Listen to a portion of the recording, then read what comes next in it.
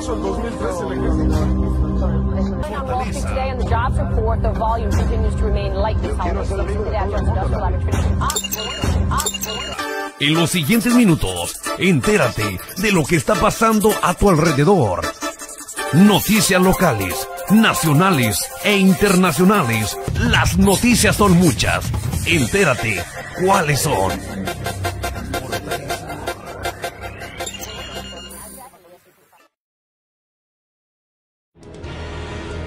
La Agencia de Comunicadores de Córdoba presenta su noticiero.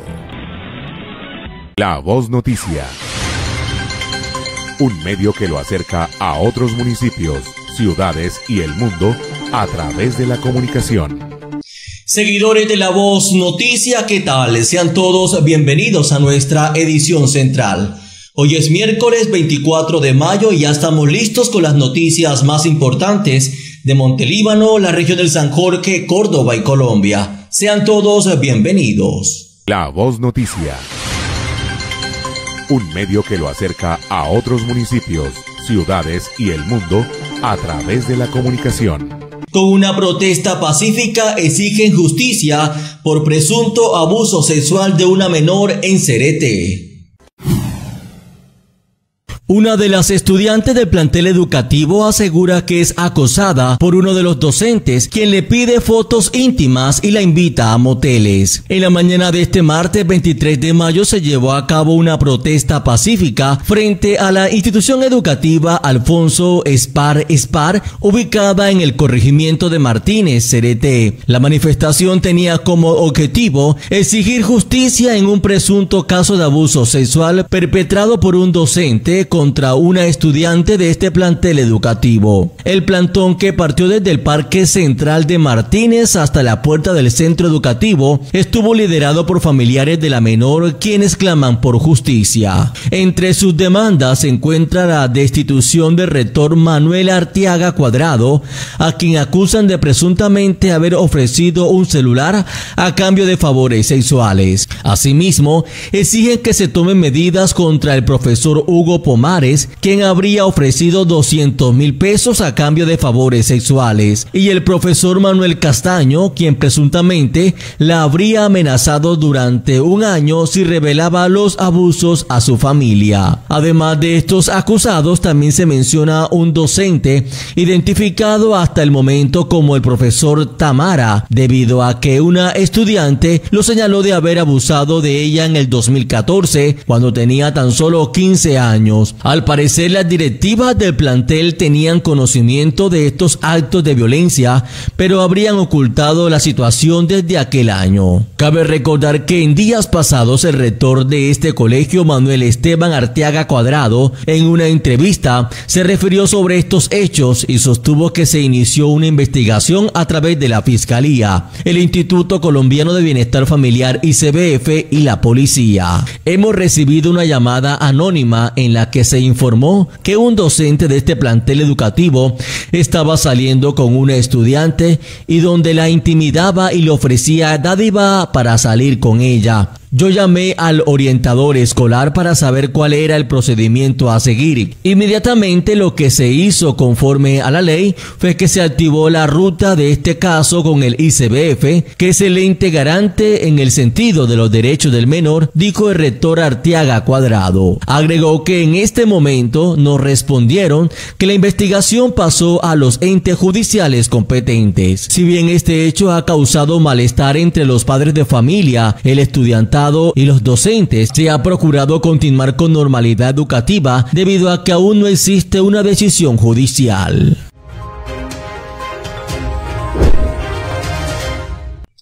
Pasando a otras noticias, mucha atención que EPM congela las tarifas de energía en Antioquia y en la costa para cuándo, se preguntan la comunidad.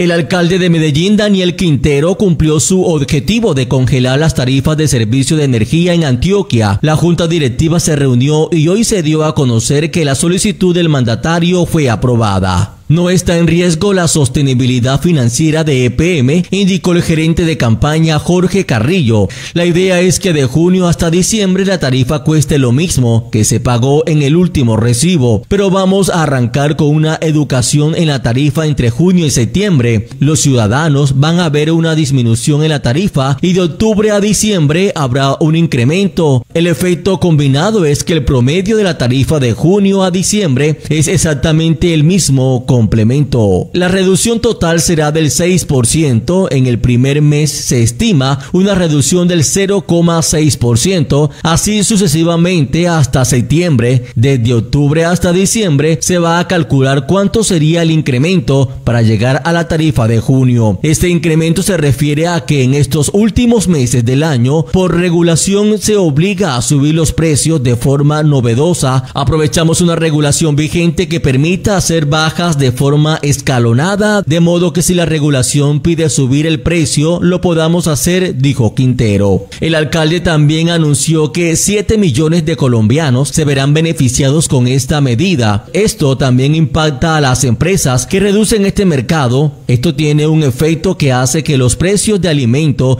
y los productos que se producen en esta región bajen. Esto termina beneficiando a todo el país, dijo. Desde Montería piden soluciones al aumento en las tarifas de energía, pues poco o nada se han notado las gestiones gubernamentales para reducir el costo de las tarifas de energía en los hogares de la capital cordobesa. Haciendo un análisis de la variación anual del índice de precios de electricidad según dominios geográficos, de acuerdo con la información proporcionada por el DANE, se observa que las 10 ciudades con mayores aumentos en las tarifas de energía en el país, 7 son del Caribe colombiano. En son Cincelejo y Montería las que encabezan la lista con mayores aumentos en este servicio, seguida por Valledupar con un 36,8%, Cartagena con un 35,8%, Riohacha con un 33,9%, Barranquilla con un 32% y Santa Marta con un 26,98%. Y la gran noticia corresponde a las tarifas del servicio de energía que tal vez son las que han suscitado la discusión nacional de cómo en un momento de complejidad económica nacional, incluso internacional, se convirtió en un dolor de cabeza para muchos usuarios que sus fuentes de ingreso no les alcanza para cumplir con su pago de servicios de manera oportuna. Y hoy lo que pasó en el marco de la Junta Directiva es que al presentar los resultados de ese análisis eh, se dieron dos certezas. Uno, que desde el punto de vista regulatorio sí se puede. ¿Eso qué quiere decir? Que nosotros no estamos inventándonos ninguna norma, ni nos estamos yendo por ningún esguince, sino eh, en aplicación estricta de la regulación vigente que nos cubre. Y lo segundo es que no está en riesgo la sostenibilidad financiera ni ninguna inversión de EPM. Y esas dos premisas son supremamente importantes eh, porque lo que está pasando es que EPM le está trasladando eh, los resultados de su gestión a que sean beneficiarios todos los habitantes de Antioquia.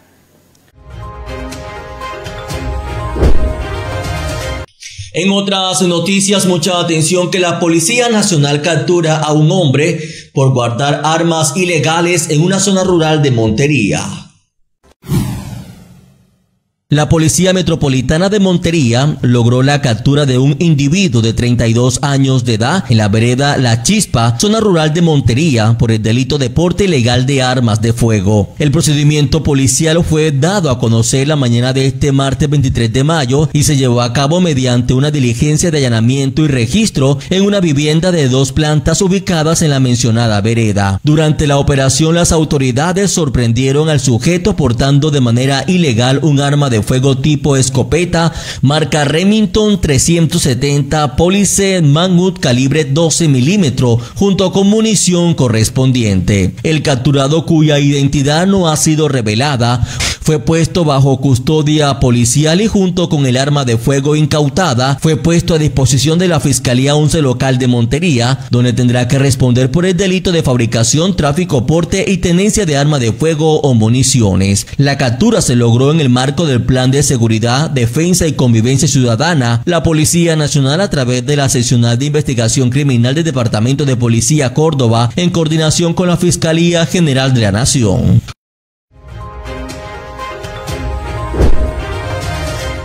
En otras noticias, mucha atención que el alcalde de Montelíbano, José David Cura, se refiere al Festival Folclórico y Cultural de Montelíbano que se llevará a cabo en los próximos días.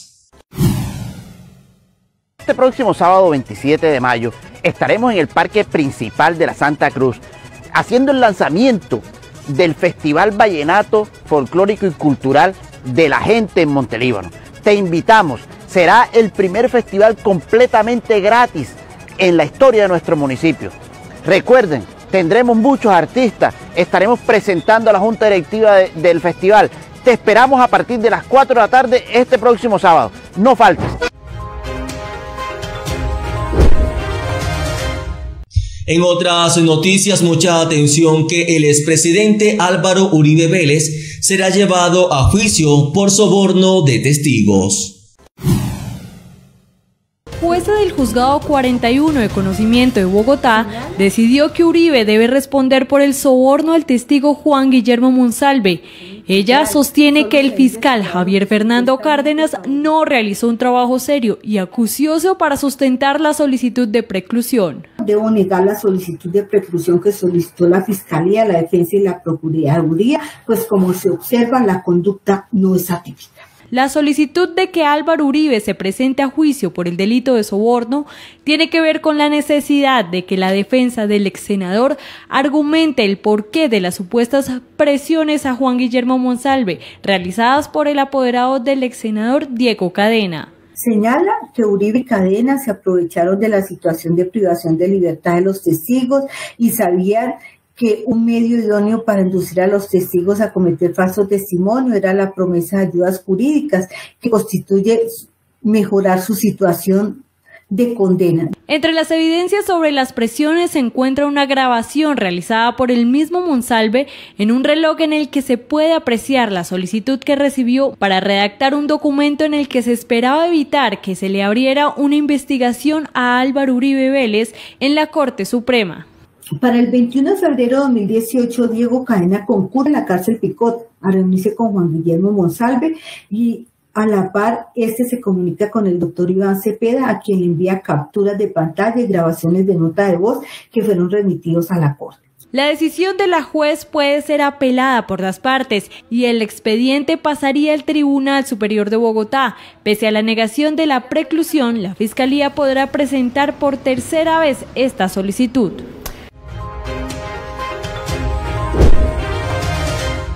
En otras noticias, mucha atención que encuentran un cuerpo decapitado a la orilla de una finca en la vía que comunica de Planeta Rica a Buenavista, Córdoba. En la mañana de este miércoles se registró el hallazgo de un cuerpo decapitado a la orilla de una finca conocida como Mala Noche en la vía Planeta Rica Buenavista. Según información preliminar, el macabro descubrimiento fue realizado por personas que transitaban por el lugar. El cuerpo yacía tirado en el suelo sin cabeza, la cual se encontraba aproximadamente a un metro de distancia. Las primeras descripciones indican que se trata de un hombre de contextura delgada, rasgo indígenas y piel trigueña. Las autoridades investigan el macabro hecho, por lo que se espera que en las próximas horas se brinde un reporte oficial con los detalles completos sobre este hecho. Y en otras noticias, mucha atención que un subintendente del CAI Santa Fe de Montería fue capturado señalado de participar en un intento de robo en el municipio. Como Byron José Londoño fue identificado el subintendente adscrito al CAI de Barrio Santa Fe de Montería, quien habría sido capturado en las últimas horas, señalado de pertenecer a la banda delincuencial conocida como los Cartagenitas. La captura se registró en la vía CRT San Carlos alrededor de las 3 de la madrugada de este martes 23 de mayo. De acuerdo con información obtenida a través de fuentes judiciales, el subintendente Londoño se desplazaba en un vehículo de marca Chevrolet de con placa JBO 842 en compañía de dos individuos identificados como Álvaro Santi Salazar Villalta, miembro de la mencionada banda, y Fray Cuida Anaya, un ex policía señalado también de formar parte de una banda dedicada al hurto. Según la misma fuente judicial, este grupo tenía la intención de cometer un robo millonario estimado en aproximadamente mil millones de pesos en una residencia ubicada en el municipio de Cerete. Gracias a la oportuna intervención de las autoridades, se logró frustrar los planes del subintendente y sus cómplices. Además de la captura de Londoño, se identificó Yamir Mauricio García Púa, quien se encontraba en el exterior de la finca Villa Rocho, donde se hallaban estacionados dos vehículos particulares, un Chevrolet Aveo con placas QHM 324 y otro con placa HGM 731, los cuales aparentemente estaban involucrados en el intento de robo. Las investigaciones continúan para determinar todos los detalles y esclarecer por completo los hechos. El subintendente Londoño será presentado ante el juzgado 164 de instrucción penal militar, donde deberá enfrentar las consecuencias de su desobediencia, especialmente teniendo en cuenta que se le exigía pernotar en el interior del comando Memo. Dice ahí en la nota, pues, eh, al parecer es cierta. A Man no lo pueden capturar por hurto con los demás porque ellos no, no cometieron el delito, ¿sí me entiende? Como, como que al parecer eh, iban a hacer la vaina, pero no, no alcanzaron, ¿sí me entiende? Eh, al muchacho sí, en verdad sí lo capturan por desobediencia porque él tiene que permutar en el comando, pero como dicen por ahí, eso fue lo, último que hicieron como para no dejarlo sano, como dicen uno por ahí. Pero como tal, eh, no se ha verificado si es verdad o es mentira de que sí de a cometer ese robo millonario. Eso es lo que se especula, lo que la gente dice, pero como tal no, no, acá no, no, no han dicho nada, si me entiende. Sabemos lo que dice la nota, pues prácticamente lo que, lo que yo sé, pues. Bueno, yo soy lo veo, yo la verdad eso lo veo bastante complicado, ¿sí me entiende? Porque es que ahí no hay cómo comprobarle a ese man de que él en verdad iba a cometer un hurto, ¿sí me hago entender? Con la otra gente. Supuestamente, los otros manes con los que estaba, que, que hay un ex policía, que hay otros dos manes más, que supuestamente son, son integrantes de una banda, pero imagínense, cómo uno comprueba si, si eso es verdad o, o cómo comprueba uno que ellos en verdad iban a hacer un hurto, porque ellos la agarran en una finca reunión, ellos están en una reunión, pues lo que es lo que actúan por, por desobediencia, por eso que le meten el pedacito de que supuestamente iban a cometer un hurto millonario. Y como, sí, sí, es que la vaina es que como eso lo maneja, estaba manejando gente desde Montería, porque supuestamente ellos los vienen siguiendo desde Montería. Sí, vamos a entender, al muchacho ya lo colocaron a disposición y allá de la penal militar en el comando y todo eso, pero acá en Montería como tal no se supo realmente qué fue lo que pasó. Había gente de Gaula, sí me hago entender. Supuestamente también especulan que iban a algún secuestro, que iban a coger a mano y se lo iban a llevar, pero son puros chismes que uno, uno escucha por ahí y esa es la vaina que uno no, no tiene como comprobar o, o de pronto con un compañero que haya estado en, en el procedimiento y diga, bueno, esto pasó así, así, así, ya uno va con más calma, ¿sí me entiende? Sí, sí, sí sé que hay unos policías vinculados de Montería. Hay un, un subintendente pensionado, está el teniente y supuestamente otros policías, pero no sé quiénes son.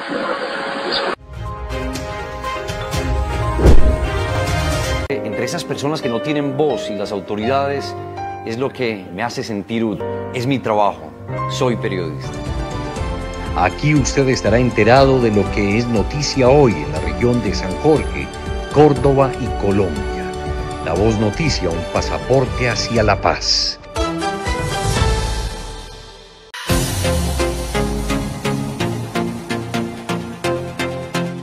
Mamá, papá, Casino Monterreal celebra el doble su día con premios, sorpresas y bonos. Venga y pase un rato agradable con nosotros. Aprovecha, paga una cerveza y recibes la otra totalmente gratis. Vallenato en vivo en la voz de Juan David Canchila y el acordeón de Lucho Leiva. Sábado 17 de junio, Casino Monterreal celebra el doble con mamá y papá. Dispuesto para la rumba y para el amor.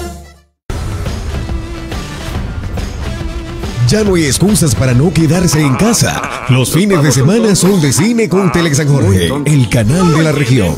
Una, dos. Prepare las crispetas y disfrute en familia nuestra parrilla de estrenos de películas, comedia, Es por el azufre, hijo, eh. acción pura, suspenso, ¡No puede ser! ¡Becky! drama, Nos divertiremos. Vale. Oye, terror ¿Quién eres?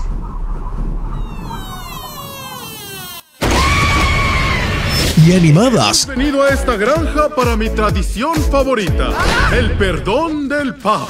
Ahora los fines de semana son de cine con Tele San Jorge, el canal de la región. ¡Desmáyate, desmáyate!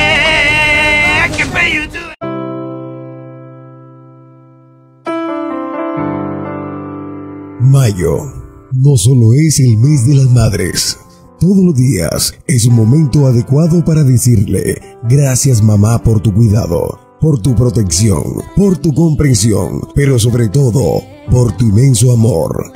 Mamita de mi vida, qué linda que estás, con esa bella sonrisa que cada día me das. y que Dios las cuide y las que tengan hijos, que los cuiden mucho. Gracias, mamá. Hijo, quiere a tu mamá, ámala, adórala, cuídala y protégela. Ese es el mejor ser que Dios nos ha podido regalar. Bendiciones para ustedes, mamá. Que la pasen súper en su día, al lado de sus mamitas. La Agencia de Comunicadores de Córdoba desea a todas las madres un feliz mes, que el Todopoderoso las bendiga y las guíe por el camino del bien.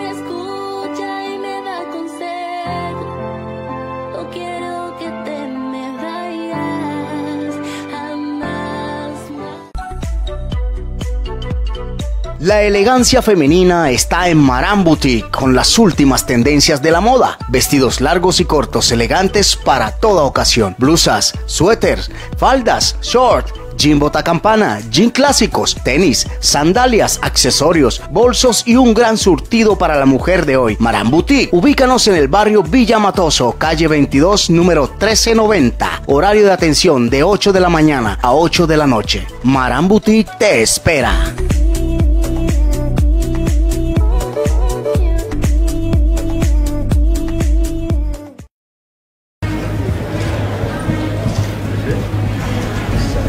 Estamos convencidos de que su trabajo no solamente es importante para la causa, sino también para el país.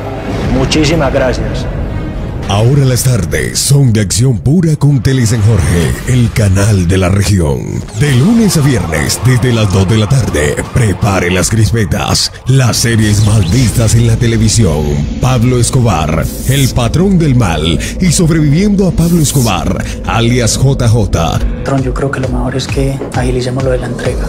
¿Pues de qué me estás hablando, Jota? Acción pura, Yo lo único que quiero es que no me maten y pagar mi cana tranquilo. El jefe del cartel de Medellín, Pablo Escobar, fue abatido hoy en la capital antioqueña. en las tardes de Tele San Jorge, el canal de la región.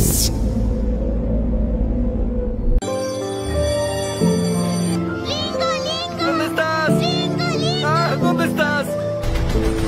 Ahora en las mañanas, la programación de Tele San Jorge, el canal de la región, viene recargada con películas de estreno.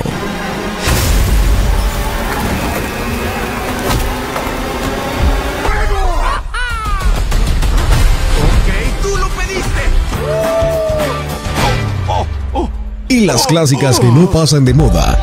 Ahí está. Hola, Gigi. ¿No le caes bien?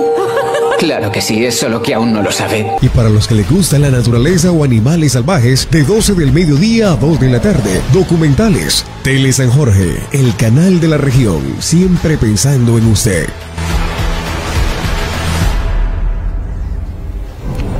En otras noticias, mucha atención que el presidente de los colombianos, Gustavo Petro, culpó al ICBF por noticia falsa de los niños en el Guaviares.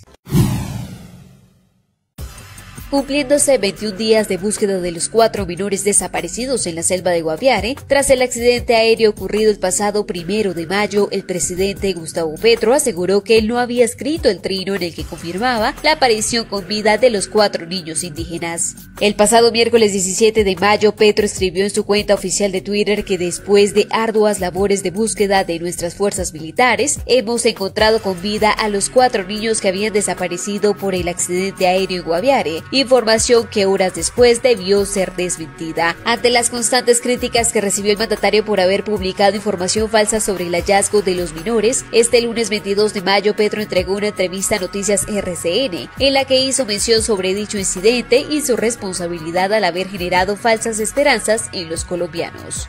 El trino es una comunicación oficial no del presidente, sino que la recogen las instituciones del Estado, en este caso el ICBF. Esa es la noticia oficial, por eso borra el trino, porque después se deshace, dijo. No porque vio otro trino, fueron los canales oficiales los que recogen la información y la trasladan, agregó el mandatario. De la misma manera, el presidente aseguró, el trino ni lo escribí. Algunas personas y medios quisieran que nosotros no nos comunicáramos y que la comunicación quedara en manos de ellos, que precisamente no tiene el mismo proyecto político del gobierno, y eso no lo vamos a hacer, puntualizó. El pasado martes 16 de mayo, las autoridades anunciaron el hallazgo de los restos de la avioneta de la compañía Aviline Charters SAS tipo Cessna 2006, de matrícula HK2803, que desapareció de los radares mientras realizaba un proyecto entre Araraquara y San José del Guaviare. De igual manera, se reportó el hallazgo de los cuerpos de los tres tripulantes mayores de edad, mientras que el paradero de los cuatro niños, Leslie Bukutuy de 13 años, Soleini Bukutuy de 9 años, Tien Oriel Ronoque Bukutuy de 4 años y Christine Neriman Ranoque Bukutuy de 11 meses, continúa siendo un misterio. Recientemente las fuerzas militares detallaron que se encontraron huellas cerca de un riachuelo que presuntamente serían de los menores. Además de la integración de más de 100 hombres nuevos a la búsqueda, continuamos sumando esfuerzos en la búsqueda de los menores en la selva de Caquetá, respetando sus creencias ancestrales. Un grupo de 10 indígenas fueron insertados para apoyar la labor de los más de 130 comandos de las fuerzas militares, expuso la entidad. Y mucha atención que estudiantes, padres de familia y educadores protestan en Planeta Rica, Córdoba por falta de transporte escolar. Aducen que el bus que tienen no sirve para transportar a los estudiantes. Padres de familia aseguran que están poniendo en riesgo la vida de sus hijos por el mal estado del bus escolar. El corregimiento de Centro Alegre en Planeta Rica, Córdoba, vive su segundo día de manifestaciones en la institución educativa Sergio Martínez. Padres de familia, estudiantes y educadores se han unido para expresar su descontento ante la falta de atención por parte de la administración municipal en cabeza por Rubén Tamayo Espitia en relación a la situación que fundamentan la protesta. Uno de los principales reclamos se relaciona con la necesidad de cambio y reemplazo de bus escolar que actualmente se utiliza y que se encuentra en mal estado, según los creyentes. Según los manifestantes, este vehículo no cumple con los requisitos necesarios para llevar a cabo sus funciones de manera segura, presentando deficiencia tanto en su aspecto tecnomecánico como en términos de seguridad. Entre las problemáticas mencionadas se destaca la falta de frenos, la cual ha generado situaciones de riesgo en el pasado. Además, se argumenta que el bus estuvo a punto de incendiarse en una ocasión. Estas situaciones han generado una gran preocupación entre la comunidad educativa que lideran la protesta, quienes exigen una solución inmediata por parte de las autoridades municipales. La comunidad educativa de la institución educativa Sergio Martínez busca ser escuchada y espera que la administración municipal atienda de manera pronta y efectiva sus demandas de seguridad en el transporte escolar. La falta de respuesta y acción por parte de las autoridades ha generado malestar y ha llevado a los padres, estudiantes y educadores a movilizarse para hacer oír sus voces. Las manifestaciones, según lo manifestado por padres de familia, continúan hasta que se obtenga una respuesta satisfactoria y se tomen medidas concretas para solucionar el problema de transporte escolar en el corregimiento de Centro Alegre.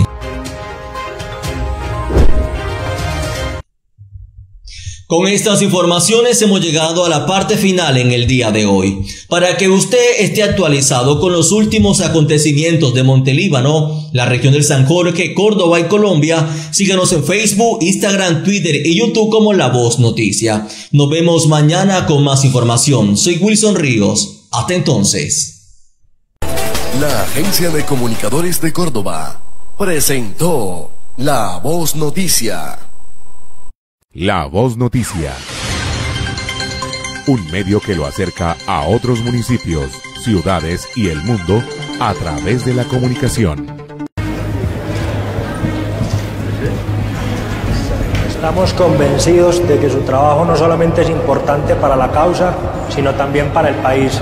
Muchísimas gracias.